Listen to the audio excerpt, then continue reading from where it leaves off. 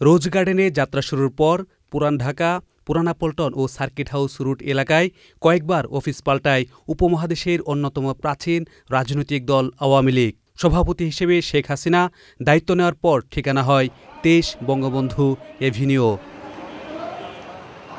চারতলা পুরনো ভবন থেকে কার্যক্রম চালানো কঠিন হওয়ায় দুই হাজার এগারো সালে পরিকল্পনা হয় নতুন ভবন নির্মাণের।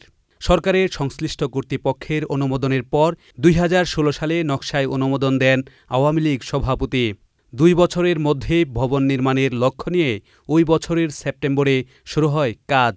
এখন কাজ প্রায় শেষ। দৃষ্টিনন্দন ভবনটিতে আধুনিক স্থাপত্যশৈলীর মিশেলে তুলে ধরা হয়েছে দেশ ও দলের ইতিহাস। আছে conference hall, digital library helipad সহ অত্যাধুনিক প্রযুক্তির সব সুযোগ। নির্ধারিত সময়ের আগে কার্যালয়ে প্রস্তুত হয় সন্তুষ্ট মূল দায়িত্বে থাকা পূর্তমন্ত্রী ইঞ্জিনিয়ার মুশারফ হোসেন।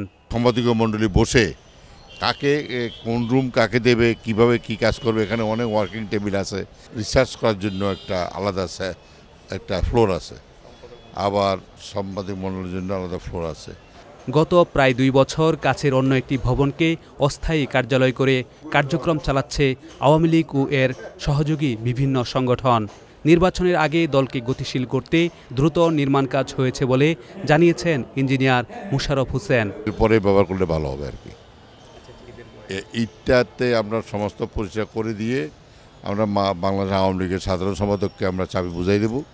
নির্বাচনের জন্য এটা খুবই উপযোগী সময়ে এই এই এই ভবনটা হয়েছে। দলীয় কার্যক্রম পরিচালনা, গবেষণা, ইতিহাস, ঐতিহ্য সংরক্ষণে আধুনিক কার্যালয়টি গুরুত্বপূর্ণ ভূমিকা রাখবে বলে নেতাকর্মীরা আশা করছেন। Lutfor Rahman Sohag, Channel I, Dhaka.